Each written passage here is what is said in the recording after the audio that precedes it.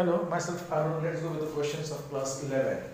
How many chords can be drawn through 21 points? We know that for to draw the chords, minimum 2 points is required. So the, our answer is 21C2. If you go with the 21C2, the answer will we have 210 ways. Next question is, in how many ways can a team of 3 boys and 3 girls? So team of 3 boys and 3 girls means total selection should be 6 be selected from five boys. Means from five boys you have to select three boys. And from four boys you have to select from four girls you have to select three girls. So this is 5c3 into 4c3 if you do the combination we get the answer 40 ways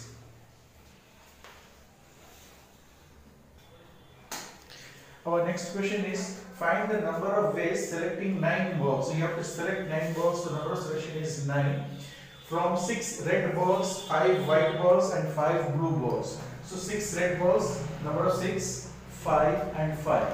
From this you have to select 3 balls each. So 3, from this you have to select 3, from this you have to select 3. So our answer should be 6C3 into 5C3 into 5C3. If you multiply this, it will be near about 2000 ways. Next question is determine the number of 5 card combination out of a deck of 52 cards. We know the number of cards is 52. If there is exactly one ace, so number of ace is 4 in each combination. So number of ways selecting one ace, so out of 4 is 4C1 and out of 4 cards when taken out the number of cards remains is 48 so rest 4 cards out of 48 is 48C4 so this should be 4C1 into 48C4 if you multiply the answer would be 77820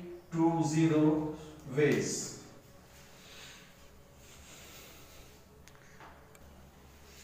Our next question is in how many ways can one select a cricket team of 11? So cricket team of 11 means number of selection should be 11 players.